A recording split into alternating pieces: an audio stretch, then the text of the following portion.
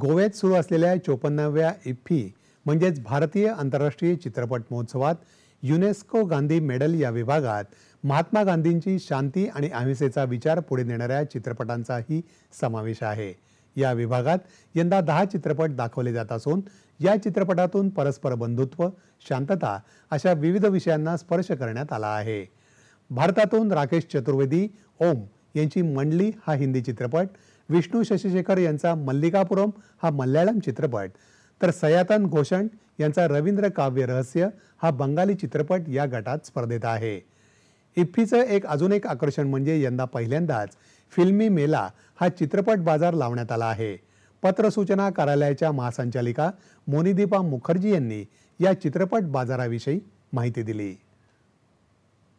इस एग्जिबिशन का जो एम है वो जो भी इफ़ी में आ रहे हैं फ़िल्म देखने, वो फ़िल्म के बारे में भी जाने और जो गोवा और पणजी का जो पॉपुलेशन है, जो सिटीजन्स है, वो भी यहाँ आए और इस एग्जीबिशन को देखें और हमारे भारतीय सिनेमा जो दुनिया का सबसे बड़ा सिनेमा प्रोडक्शन देश है, उस देश में सिनेमा कितने अलग अलग थीम्स पे बने हैं इंडिपेंडेंस से पहले से बने हैं और अभी भी बन रहे हैं और दुनिया में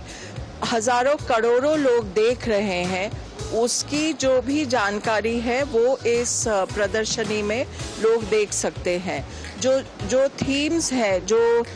टॉपिक्स हैं जिस पे इस एग्जिबिशन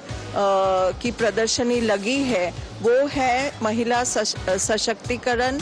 जो हमारे युवा पीढ़ी के लिए पीढ़ी के बारे में उनके समस्या के बारे में सिनेमा बनी है और सोशल इंटीग्रेशन और आ, हमारे आर्म्ड फोर्सेस डिफेंस फोर्सेस को लेके जो सिनेमा बनी है हमारा साइंस एंड टेक्नोलॉजी विज्ञान के क्षेत्र में जो भी